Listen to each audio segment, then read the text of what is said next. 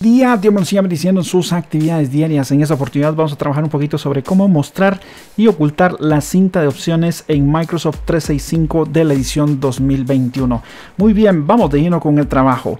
Tenemos prácticamente nuestro Word y resulta que no nos aparece el contenido de la cinta de opciones. Tenemos que ingresar y cuando presionamos en cada una de las pestañas, pues podemos irlo observando. Pero al estar escribiendo, pues ella desaparece y usted quiere de que quede totalmente fijo. Para ello, lo que hacemos es lo siguiente.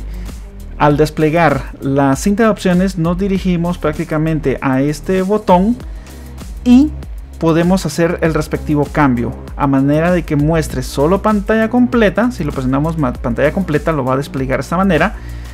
Podemos también eh, cambiarlo a solo pestañas, que es lo que lo, la forma en que tenía o también se encuentra mostrar siempre la cinta de opciones, que de esa manera pues ya lo estaríamos dejando de una manera fija. Eso sería el procedimiento adecuado.